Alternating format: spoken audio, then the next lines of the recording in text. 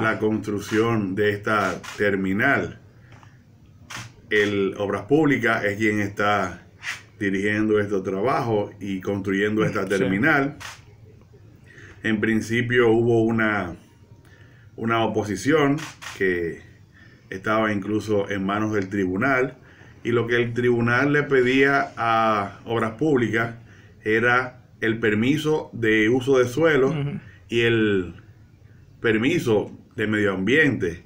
La información que tenemos como alcaldía es que medio ambiente le, otorgó el permiso y el Consejo de Regidores en su mayoría votó eh, de manera favorable para eh, emitir el uso de suelo, ya teniendo estas dos documentaciones, ya no tendría ninguna objeción de que se construyera y por eso es que se está realizando. Y se, el ayuntamiento le otorga el permiso de realizar la construcción. El, Consejo de Regidores le otorgó el, permiso, mediante una resolución eh, para construir la terminal.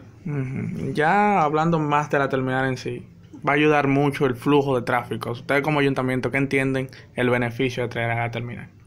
Claro, va a tener un, eh, mucho beneficio al, al municipio Santo Domingo Este, porque no estamos hablando de algo arrabalizado, estamos hablando de una terminal eh, eh, moderna como en los países desarrollados, según la explicación que dio el viceministro de Obras Públicas, el ingeniero Pepín, es que los vehículos allá eh, no van a durar mucho tiempo, van a estar por cerca del hipódromo, en la información que tenemos, va a haber un lugar donde ellos se van a estacionar y vendrán aquí solamente los que van a recoger, los pasajeros y, y, de ahí a su destino. Por eso es de que ahí no va a haber caos, ahí no va a haber eh, vendedores ambulantes, lo que se hable algo moderno que va a beneficiar eh, al municipio y a todo lo que es la provincia de Santo Domingo. O sea, que según lo explicado no va a afectar ni el turismo que va al Parque Nacional Los Tres Ojos, ni va a rabalizar esa zona, que es lo que más dicen los opositores. No, no, incluso dentro de la misma terminal habrá parqueo para el que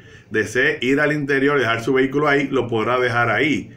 Eh, es algo práctico, algo funcional eh, habrá arriba eh, en algunos negocios para venta y eso.